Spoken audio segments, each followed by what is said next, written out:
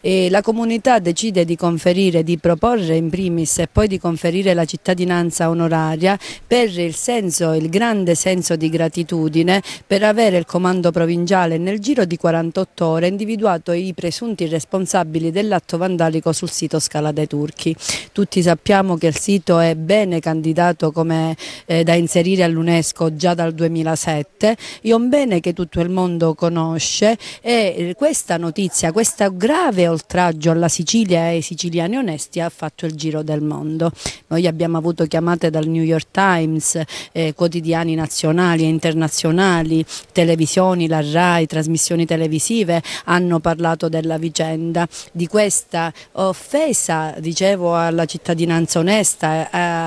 al senso di servizio delle comunità, alla rettitudine, che grazie a un intervento tempestivo e a uno spirito di servizio e di squadra ehm, si è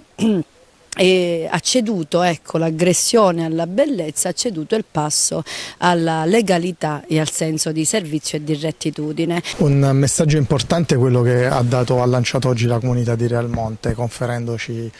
all'arma dei carabinieri la cittadinanza onoraria. Noi siamo l'arma della gente e quel giorno, quel maledetto 8 gennaio abbiamo risposto a quello che è stato un tentativo di omicidio della Scala dei Turchi. La dignità dei siciliani e degli italiani è stata mantenuta integra perché la risposta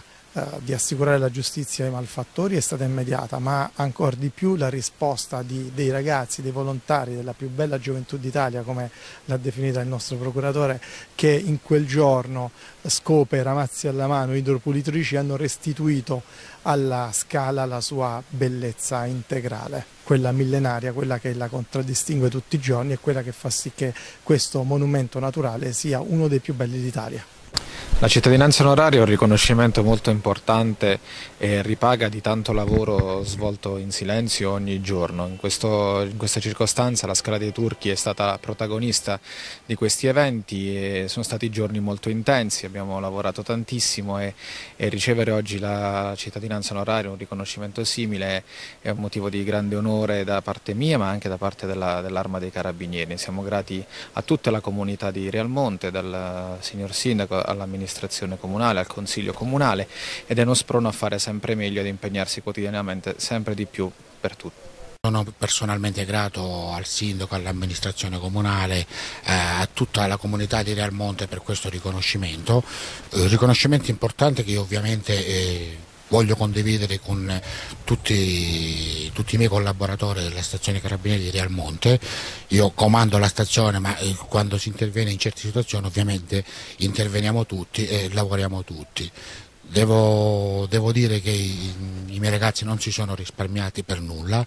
48 ore di lavoro continuo eh, però eh, poi eh, le soddisfazioni arrivano, il soggetto, il presunto soggetto è stato assicurato alla giustizia eh, e sono, sono, contento e voglio condividere questo, questo, questo mio eh, riconoscimento con tutta, con tutta la stazione.